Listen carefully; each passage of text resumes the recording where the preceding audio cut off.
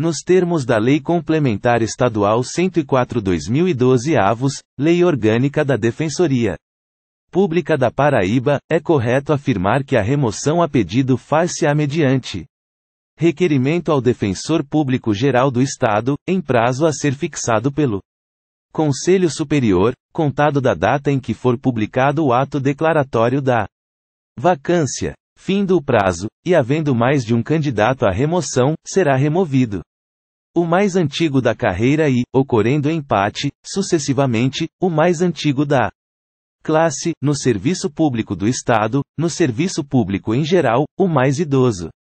E o melhor classificado no concurso para ingresso na Defensoria Pública do Estado. Analisando a questão, você responde: verdadeiro ou falso? O gabarito é falso.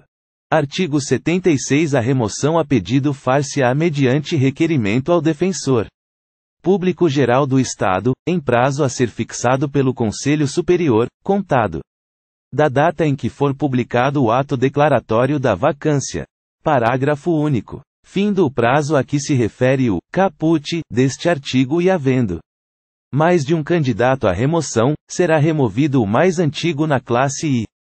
Ocorrendo empate, sucessivamente, o mais antigo na carreira, no serviço público do Estado, no serviço público em geral, o mais idoso e o melhor classificado no concurso para ingresso na Defensoria Pública do Estado.